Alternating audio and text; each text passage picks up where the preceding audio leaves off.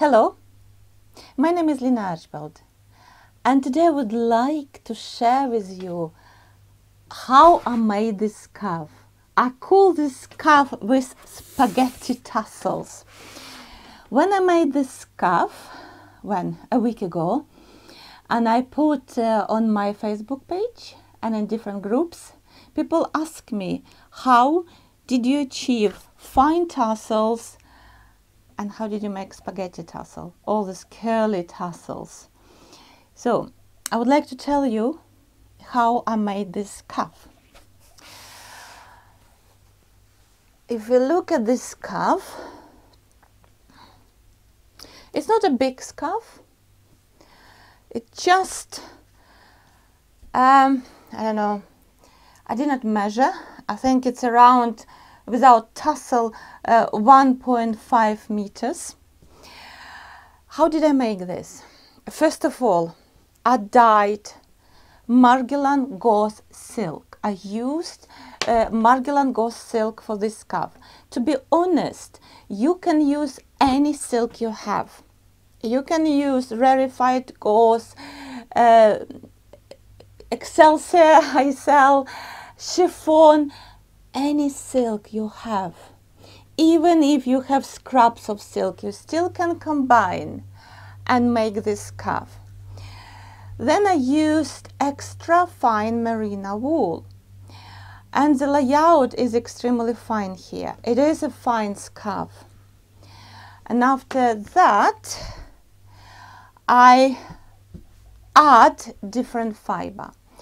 And here I included silk hankies, uh, viscose, bamboo, uh, silk, uh, waste silk, no, silk sari waste, different. To be honest, this technique, I use this technique for these scarves when, can you see this one particular, yeah? And when I create pre-felt. So if you want to learn more about this technique, this is the class. This is um, the class called stained glass, um, stained glass Nuno felted scarf. And this week, as we're still in COVID, sorry mentioning the word, I'm given discount because this class is one of my popular and I just want people to enjoy.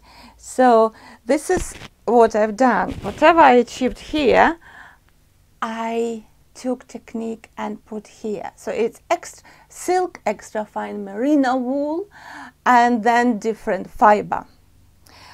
Now back to tassels. How did I do these tassels? First of all, if you look the shape of scarf, I decided just to chop little bit of silk from this corner and just create this shape. In terms of tassels here, I made separately tassels and I added to my scarf before adding any fiber. So I just put three tassels and the reason I did because I like my scarves being functional. To be honest, I live in northeast of England, it's windy. I always lose my scarves, so I need to tie them very tight. So tassels here were attached, but tassels here what I've done here, when my uh, pre-felt was stable, okay, so I felt it to the stage of pre-felt. It's when you do basically all felting except of fulling. And then I cut, I cut piece of my scarf what you need to bear in mind that basically where tassels cut, there is no shrinkage because by the time we felt and we stretch, there is not much shrinkage. So if you need tassel 20 centimeters, cut 20 centimeters, okay? So after I felted these tassels, so I shaped, no, I felted first, I shaped, then I dry, obviously rinse my scarf and I always uh, do final rinse either with vinegar if you don't like vinegar then lemon to completely remove any uh, soap. If you use olive oil soap it's easy to remove. If you use washing up detergent it is very difficult to remove. And you don't want that chemicals against your skin or against anyone else skills skills skin if you selling if you selling this scarf have you noticed as a child mannequin a pinch from my daughter? Don't tell her please. So okay so our scarf is rinsed and then what I do I dry in towel inside of towel. Basically I roll to remove unnecessary moisture. So we still need wet scarf but not dripping wet. So after that how to get this cur curly curly or spaghetti uh, tassels? Simple. Pencil and then I usually do three together if it's fine. And then basically you just roll a, a, or curl around pencil your tassel okay? Three together very tight. Secure with um, sellotape uh, and leave to dry. That's it. So next morning I was very impatient to undo these uh, pencils. And uh, my tip is when you put lots of sellotape make sure you have you can see the end. Maybe put some little bit of um, I don't know fiber or paper where you can see the end.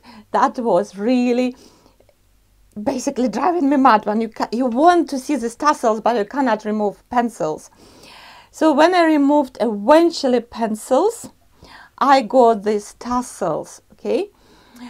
And then what I do with my felt, I iron. So basically, if you have thicker silk and you want to have this shibori still, don't really press hard. You just really steaming, I would say. Why I do this? First of all, I like my silk looking natural but still uh, neat. So I, I iron all the silk, like here more silk, and then I just press very gently my scarf. Why? Because then your felt become even finer. Okay, this is Margilan gauze silk. And remember, finer silk you use, less texture you will get in comparison to thicker silks. So this is how this is how I made these tassels. And if you want to learn more about techniques, how to make tassels and fine felt, then I recommend class fine felted scarf where we make a few two different types of scarves including I really give step by step um, video how to make excuse me how to make this tassels okay? Again this class will be discounted. This is one of most popular class and i want people to use that classes and learn and create and enjoy their craft so this is about this calf. um don't forget we have group felting with lena felting together where I continue share my tips and uh, encourage everyone to share their work. So it's Facebook group. So let me to mention you something else I've been working on. Uh, talking to my students and followers and um, understand not everyone can spend 70 pounds immediately uh, on online class. I do appreciate that. Even I'm constantly given discounts and bundles where you can purchase re quite reduced classes, few classes together. I'm working on membership side. It will be part of my online classes side where every month a will share project. Every month you will learn new technique. So in June, June nearly coming to the end. So my purpose to finish by end of this week, we are going to make scarf like this. I will show you how to use uh, not long piece of silk. Okay, this is two meters uh, Margilan um, Excelsior and it is very thick as silk in my stock. So it will usually shrink quite a lot. So really, um, how to have create long scarf with not so long uh, silk. Okay, how to dye silk. I will have four methods. I will share with you four methods of dyeing silk. How to create these tassels. Okay, how to if you look at this cuff and I will put picture you have all this kind of spider net so how to do that as well I will show you all this and yes I will release a pro project every month and we will have a closed Facebook group where we will continue developing together, learn together, and create together. I will share with you my bestseller scarves in days when I used to sell via galleries before I went venture into uh, teaching. Uh, so uh, I had these three designs which were selling non-stop. I will share with you that designs as well. This is our June project and if you look it's a double-sided scarf yeah you can wear anywhere you can style anywhere thanks to these tassels and you can use any type silk and you can use any type of fiber and you can use either um, fine merino or super fine merino okay so um, you will have access to videos and you will have uh, access to closed Facebook group and obviously I will answer questions via Facebook group or via membership classes via the system. That's all I wanted to share with you today. Thank you so much for your attention. Take care. All the best. Goodbye.